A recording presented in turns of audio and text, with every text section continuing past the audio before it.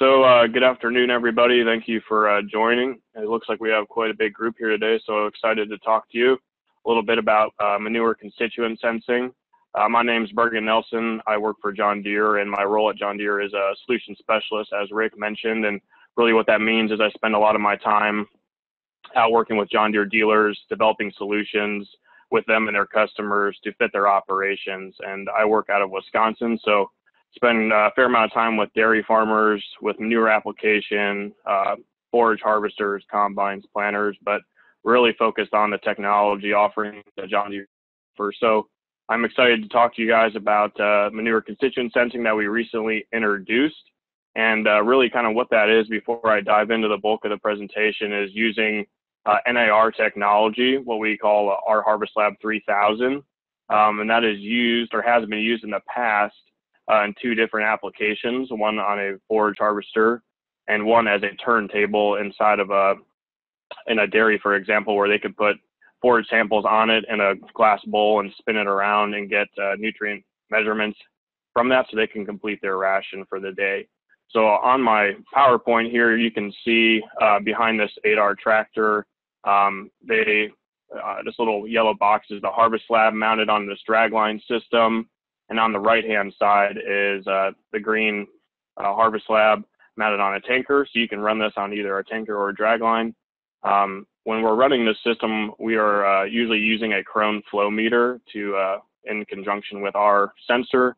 And then in the top left here of our my, my screen is uh, kind of a screenshot of an in-cab display within a John Deere tractor. And this is where you will find a lot of the settings and information that the sensor is reading as you're applying.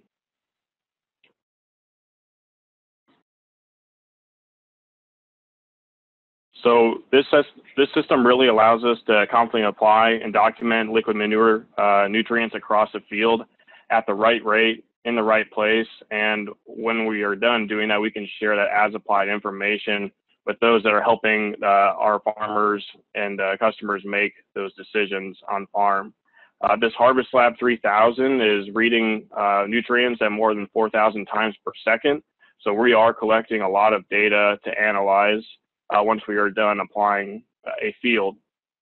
Uh, with this technology, we can um, apply nutrients on a target rate for one nutrient, and we can also send it out um, or use a limit rate for a second nutrient. So for example, if we want to put down 12,000 gallons to the acre, we could do that, but then we could also have a limit rate for phosphorus and the tractor will speed up and slow down accordingly to make sure we stay under that limit once we are below that limit, it's going to default back to uh, the target rate that it's, it's targeting.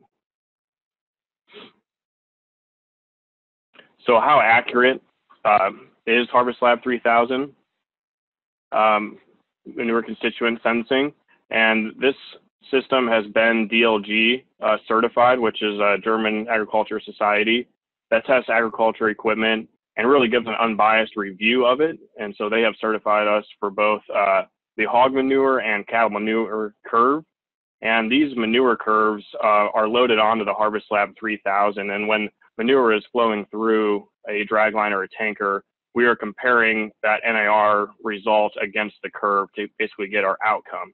And I want to, I guess, explain that the curves that we're running on this system uh, were developed in uh, the U.S. with U.S. manure data. Myself and some, oops, scrolling through my slides here, um, were built with some manure from the Midwest, Wisconsin, Illinois, dairy farms, beef, and farms.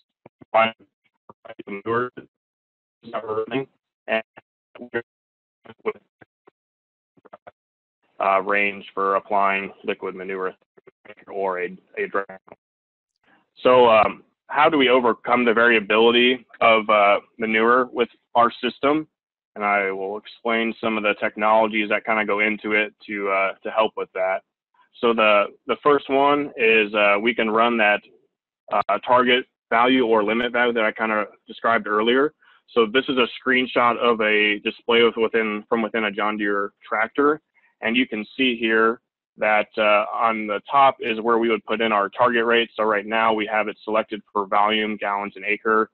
Um, and below is where we can put in our limit rate. So where you're doing uh, volume and then. And this is, uh, you can change this up. You can do nitrogen for a target volume and uh, or uh, gallons an acre for a limit rate. So whatever the operator is kind of shooting for, they can input that information here. Uh, the second piece of technology that kind of helps come over uh, the variability of manure is tractor implement automation. And what I mean by this is if we're running a John Deere tractor, we can speed up and slow down the machine to maintain our rate, whether that's gallons an acre or pounds of nitrogen per acre. And uh, this is only compatible on John Deere tractors. Um, if a customer wanted to run our system on a competitive tractor, so to say, like a Case IH, they will have this uh, information up here, but it'll just kind of tell them to speed up or slow down to maintain that target. Whereas with our machine, we can do that automatically.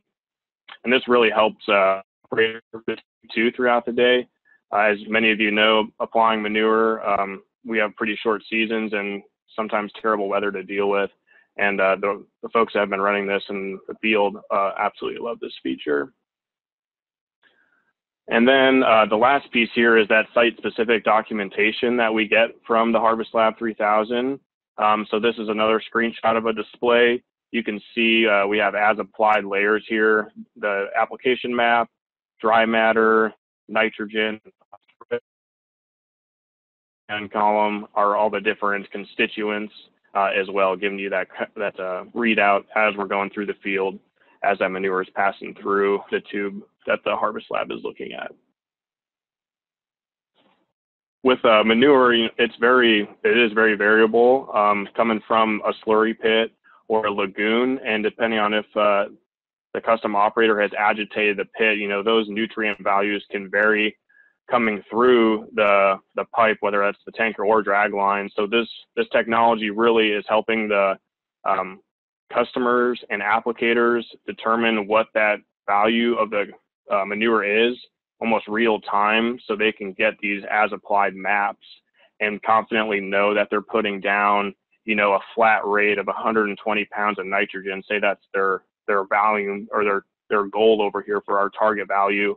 They can confidently uh, put down 120 pounds across that field or maybe in the past without having you know NIR technology to read that manure as it's coming through, you know, they're kind of sampling one or two samples in the pit to get an idea of maybe a million gallons, right? So this is really just trying to help the customer better understand the value and nutrient content of its uh, his or her manure. So just a few other screenshots here um, to show you how that target limit setup is put in. So you can come in and and put in whatever number you want for your target.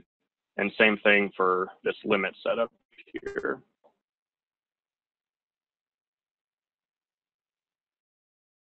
So that's kind of the gist of uh, what it looks like within the display kind of operation of the system. I now kind of want to switch gears and show you what is available in the John Deere Operations Center uh, for as applied maps. And just for those that don't know, what the John Deere Operations Center is, is a kind of an online program for our producers that John Deere offers uh, for free for them to upload their agronomic information, uh, whether that's planting maps, harvest maps, application, manure application in this instance, and they can see that um, as applied information in many different layers.